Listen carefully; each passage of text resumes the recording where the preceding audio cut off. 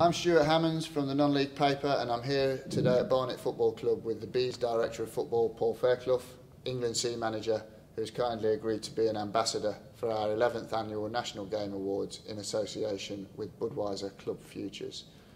We're discussing some of the main categories and now we're going to move on to the Pro Direct Soccer Golden Boot Award.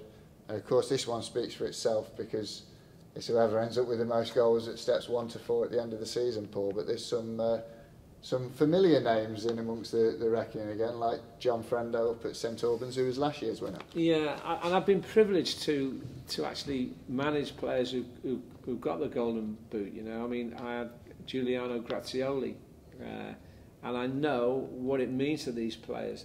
But yes, you know, John Frendo, you know, last year the winner, and there again, doing it again this this year, bashing in the goals you know, I go to watch these players. I watch Frendo and I watch the likes of Mackie. Those two players are completely contrasting styles.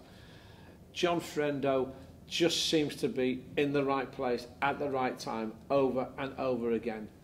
Uh, and Mackie is just all over the defenders like a rash, you know. He's in their face, he's aggressive, he's dynamic, and, he, he, you know, they both got this gift that, of scoring a goal. They want to score a, a goal, and they're the ones who, who I'm who I'm most familiar with.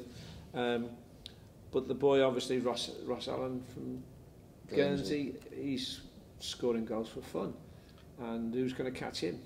Even if they went up two levels, let's say they halve their goals that they score.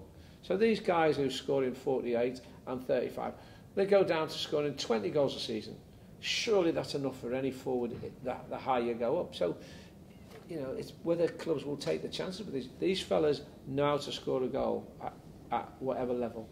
There's another guy who, who I've seen play at various levels from Southern Premier to uh, Conference North and that's Leon Mettam. He's been at Corby, Gainsborough, he's had a spell at Lincoln in the Football League and he's gone to Worksop Town this season and I think he's got 39 um, as we sit here now.